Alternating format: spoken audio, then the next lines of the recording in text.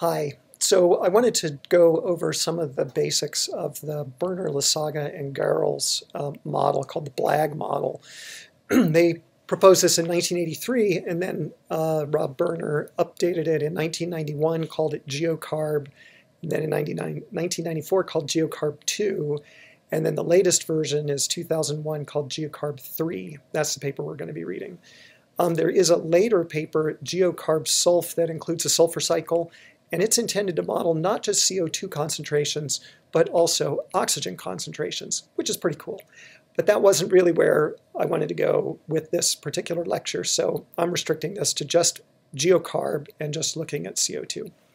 Now, one of the things that um, we can think about is that if you look at the rate of CO2 um, production and consumption, weathering will ultimately consume CO2. It, it takes CO2, or it can consume CO2.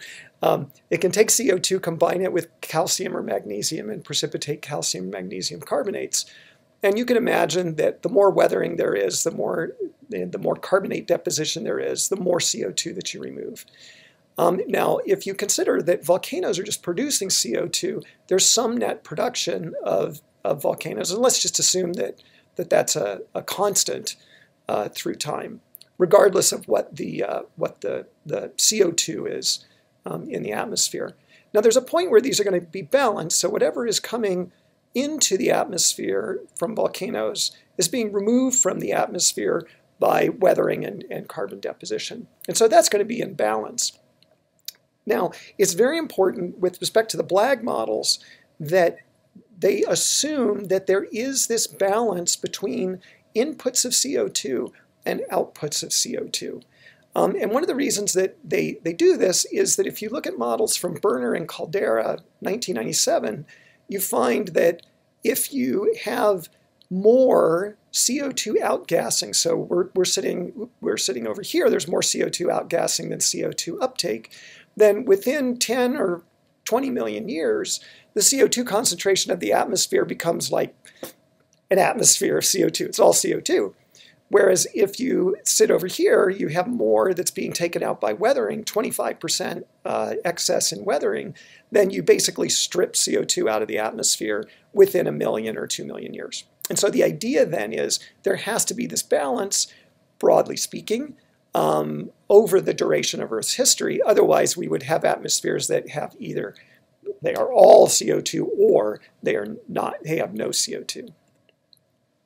And so this is the, the long-term carbon cycle. So in this, um, the green uh, values are, are, reservoirs, and this is, I, what is this, 10 to the 15th grams, I think it is. Um, Red is the flux of carbon, and blue is the delta C13 value of that carbon reservoir. And so you can see there's an atmosphere, the biosphere, sedimentary organic carbon, uh, sedimentary carbonates, um, the ocean, and the mantle. And each of these has different amounts of carbon in it, has different rates of, uh, I think this is modern, uh, fluxes of carbon. And um, each of these has distinct uh, delta C13 values. Um, and so really what Berner was saying is that there is CO2 input to the atmosphere and then there's CO2 drawdown from the atmosphere. So the inputs are thermal breakdown of uh, carbonates and organic carbon, so diagenesis, metamorphism, volcanism, um, weathering of carbonates, um, and the oxidation of organic carbon. And then silicate weathering ultimately creates the carbonates that then get buried, so that's carbonate burial. Um, and then there's organic carbon, straight up organic carbon burial. And there's a bunch of simplified um, reactions here. Um, here's one where um, the weathering of calcium silicates and magnesium silicates generically ultimately produce calcium carbonate plus silica, and the calcium carbonate then gets buried. And then here is a reaction where you have some kind of organic carbon that gets oxidized by critters or whatever uh, to produce CO2. So this is putting CO2 back into the uh, atmosphere. Okay, so very uh, schematically, this is how um, the models are put together. There's a carbonate carbon uh, reservoir or an organic carbon reservoir and an ocean and atmospheric carbon reservoir. And then there are fluxes among all of these. And so over here we have the carbonate fluxes. There's a flux from M. M is metamorphism and volcanism, but just think of it as metamorphism, thermal release of, of CO2. Thermal release, the breakdown of, of carbonates and then there's also the weathering of carbonates. So you take CaCO3 and you dissolve it with whatever silicic acid, it produces CO2, puts CO2 in the atmosphere. So these both go into the atmosphere. There's also weathering of organic carbon, so that would be organic carbon plus O2 react to form CO2. And then there's metamorphic degassing of, of uh, organic carbon as well. So those could actually be reactions like graphite plus O2 goes to CO2, it could also be the release of methane, metamorphic methane, into the atmosphere that then reacts with water to produce CO2 um, or oxygen to produce CO2. And then the fluxes uh, to back into these, um, these boxes are the flux of burial carbon and uh, the burial flux of, of carbonate. And so basically whatever's being dumped into the atmosphere has to be balanced by whatever is being uh, buried um, out of the out of the atmosphere. And this burial, the burial removes CO2 and it's linked to silicate weathering by those reactions that I was just mentioning. So there are two basic equations that have to be satisfied. There's the mass balance of carbon. That's exactly what I was just talking about before. The, the fluxes of carbonate and organic carbon to the atmosphere have to be balanced by the fluxes of carbonate and organic carbon into the sedimentary record. There also has to be mass balance of isotopes, and I'll explain why we need this. Um, ultimately, it has to do with trying to constrain the flux of, of the buried carbon. But basically what this says is that if you take the isotope composition of the carbonate times the fluxes of the uh, carbonate component that's going into the atmosphere, and the delta C13 of organic carbon times the fluxes that are going into the um, atmosphere, then they have to be balanced by the carbon isotope composition of carbonate that's being buried times its flux, plus the carbonate composition of, uh, sorry, the, the isotope composition of the organic carbon times the flux of the carbon that's being buried, um, and here, this isn't actually correct, that this is not the way to write it, but basically what they're trying to say is that there's an isotope fractionation between carbonate and carbon, and it's like, I can't remember off the top of my head, 25 per mil, something like that. And so this is just a way to reference everything on this side of the equation to the delta C13 of carbonate that's been buried. Why do we do that? Because we have a good carbonate record and we can measure that. Now, the sizes of the reservoirs can increase or decrease. So if you look at the carbonate reservoir, whatever comes, uh, gets buried um, is uh, minus whatever is put back into the um, atmosphere and oceans um, is going to increase the, the carbonate. And so here, the burial carbon, if, if the flux of buried carbon is greater than the flux of weathered carbon and organic carbon and metamorphosed and volcanic carbon, then, um, then the, the uh, organic carbon reservoir is going to increase. Okay, so that's just a uh, the, the constraint that if the fluxes don't balance, then these reservoirs can increase in, in size. Um, that's one way to, to keep the Earth from getting into this runaway system, by the way.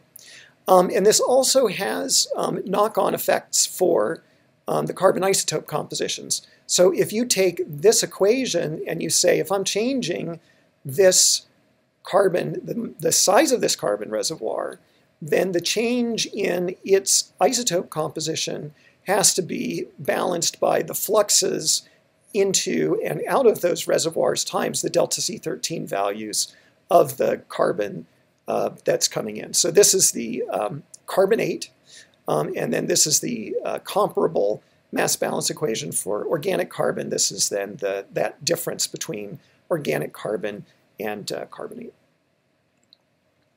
So now, why would the fluxes change? Well, the fluxes, to, the fluxes depend on the amount that's stored in the rocks, so those are the reservoir sizes, the climate, so if temperature changes, then the fluxes can change, and the exposure, which is the geography. So if there's more land exposed, then you could, for example, uh, produce more, uh, you could weather more carbonates and put more uh, CO2 into the atmosphere faster. The, um, the metamorphic and volcanic flux depends on the spreading rate. And so they have a spreading rate that they've specified. This then defines the changes in metamorphic and volcanic flux uh, through time. And then there's a question of whether carbon is buried on the shelves versus the deep sea, and they specify um, how they're going to partition that. But the idea there is that that defines how much carbon is going into subduction zones, and then the subduction zones are degassing carbon. Um, there's the um, net burial of carbonate, which is equal to, so this is the, the, um, the amount that's buried minus the amount that's weathered. That has to be balanced by the flux that's associated with silicate weathering. So those are those reactions that ultimately produce MgCO3 or CaCO3 that then get deposited. And um, that flux, silicate flux, um, silicate weathering, depends on the temperature, it depends on the climate, it depends on the geography. They talk about um, the efficacy of, um, of silicate weathering depending on um, uplift, that kind of thing. Are plants there or not? Have they evolved yet? What plants have evolved? All of that affects the efficacy of silicate weathering. And then um, there's this one, the net burial of organic carbon. Now that one depends on chemistry and circulation of the ocean primarily it can sort of be specified or parameterized, but they, they don't want to do that. And, it, and it's because um, they want to infer that from other, uh, as, as, part, as a, as a dependent variable of the um, equations that they develop. And what's really key in all of this is are all the feedbacks. So there are lots of different feedbacks to the weathering of silicates. There is, remember, this is the, the flux that's being buried minus the flux that's being weathered. And so there's a weathering feedback here, and it depends on temperature and CO2 concentration. Silicates weather faster at higher temperature and CO2.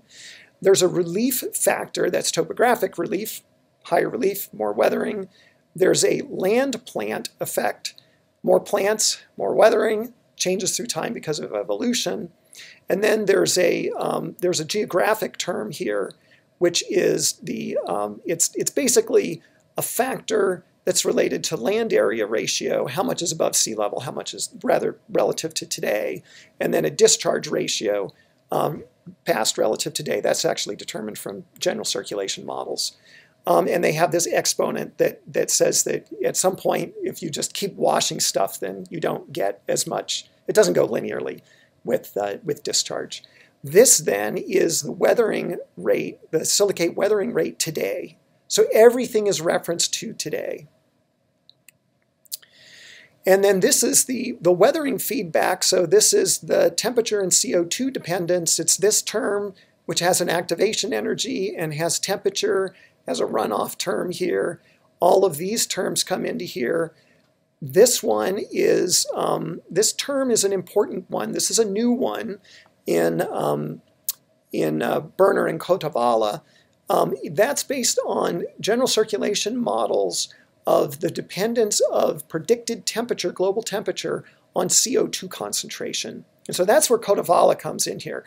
That's where that term comes from, is a whole series of experiments that say, if I double the CO2 concentration in the atmosphere, this is the change in temperature of the atmosphere. As, and so its, uh, its term apparently is related to the log of the, of the uh, concentration of of CO2. WS is um, the solar irradiance. Okay, so these are going back 500, 600 million years. So solar irradiance back then was um, not as intense as it is today. And so this is then normalized over 570 million years. So it's assumed to increase linearly. And then there's a geographic term, and that thing is really not specified very well. But it, it's basically looking at the distribution of continents um, the uh, effect of, of um, CO2, the CO2 term, that one depends on whether there are plants and whether they're not plants. And so this is what they use. They, they have a term here before vascular plants evolve in the Devonian 350 million years ago.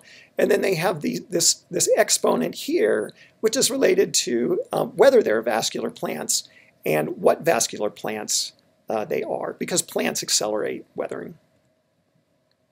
So here's their uplift parameter. They're, they're basically looking at changes in volume of sediment through time. So this is a record. Um, so this is 550 million years ago. These are the volumes of sediment, the changes in volumes of sediment per unit time. And what you see is that it steadily increases and goes way, way up to the modern. That's probably a preservation thing. Okay, and so what they do is they fit a very simple curve through here and say that's what's going on on average. And so here there's more uplift and erosion, and here there's less uplift and erosion than in other, than on average, than relative to a modern day kind of uh, behavior. Now this is new to, to use this particular parameterization. The earlier versions used strontium isotope records but those depend on the age of the material that's eroding. And so if you look at the Andes, they're really young, they have a really low strontium 87-86 ratio. Weathering a silicate there produces a very different isotope composition than weathering the lesser Himalaya in the Indo-Asian collision, which has a really high 87-86 ratio. And the strontium also assumes that it's coming from silicates, that the, the, isotope record in the ocean is a reflection of silicates. And in fact, strontium that's coming out of the Himalaya is dominated by carbonate weathering.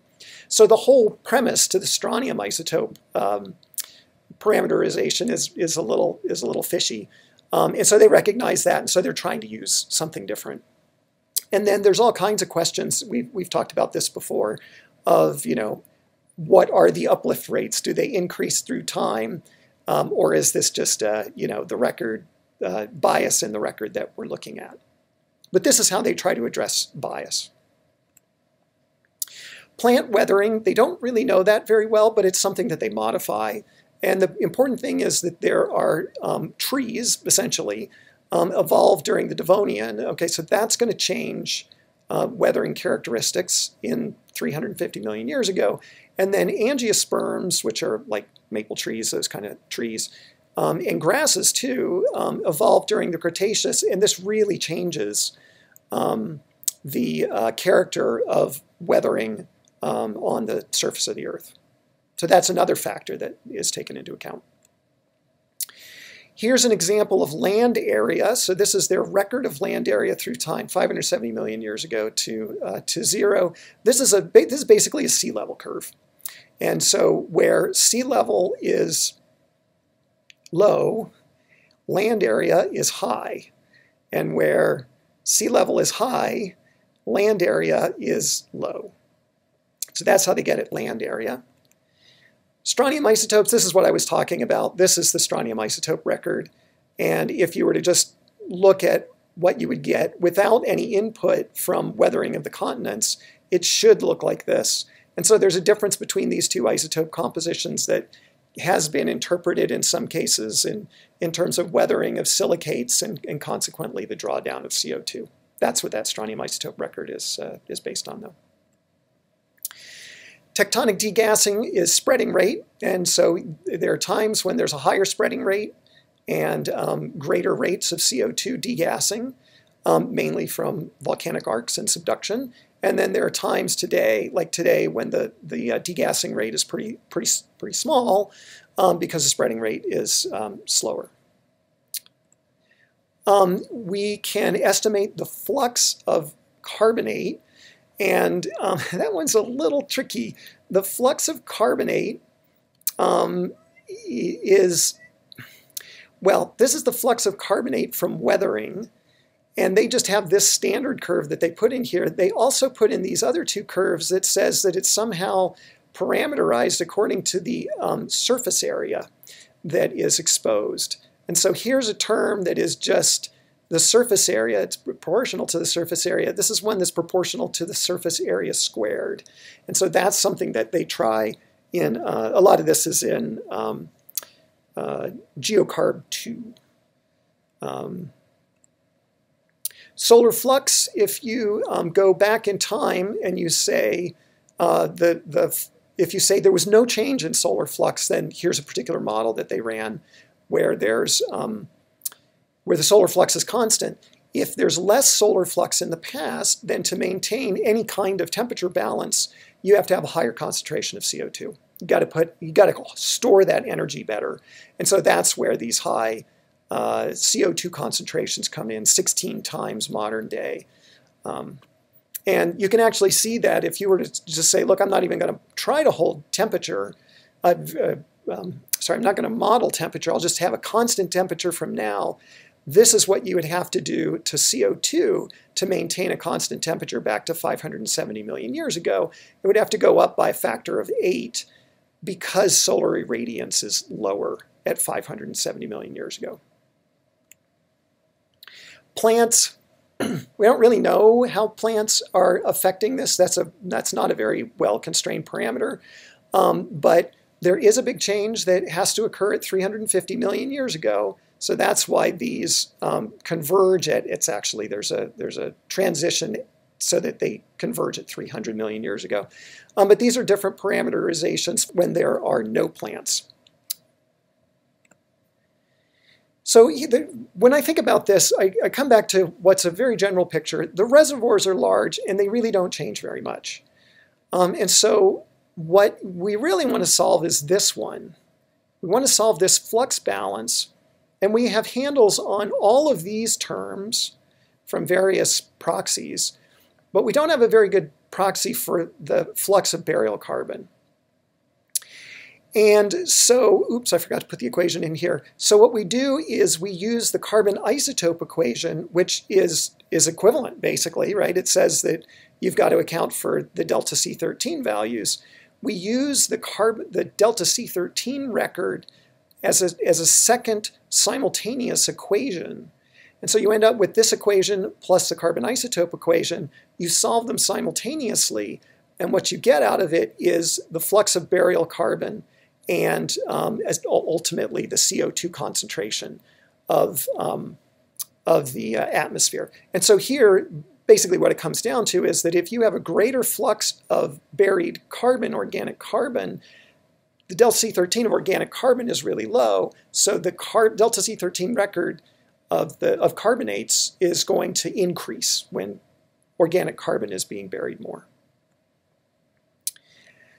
And it turns out they have also estimated the flux of buried carbon from rocks, and it sort of follows the flux that's interpreted from, um, from carbon isotopes. But um, uh, so in some ways they're, they're kind of comparable, but they, they do prefer the carbon isotope uh, trend because it's um, independent of the preservation potential.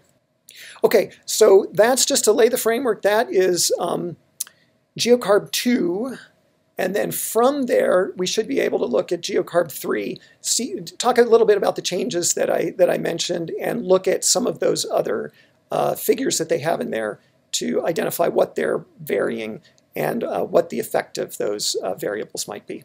All right, bye.